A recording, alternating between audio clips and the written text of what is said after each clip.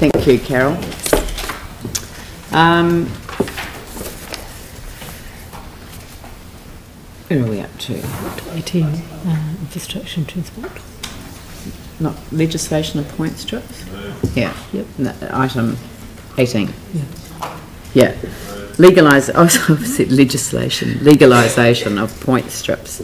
Um, where did this go? Well, this Itty. came to the uh, ITI committee and Yeah. it never amazes me as part of this incredible job we have that how much we learn every day.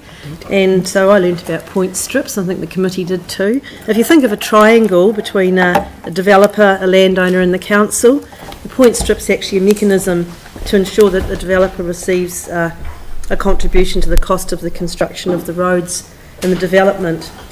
And it's only a very, very narrow piece of land that actually prevents the landowner owner from accessing the land until they've met the terms of the agreement.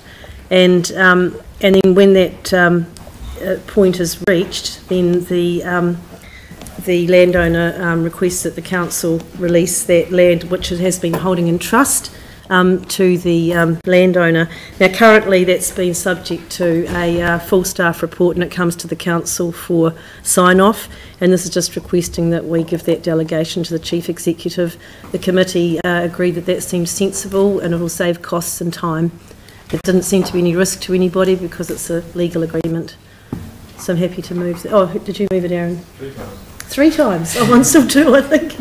I'll second it. Right, Aaron's moved it, Pauline seconded it. I'll put the motion.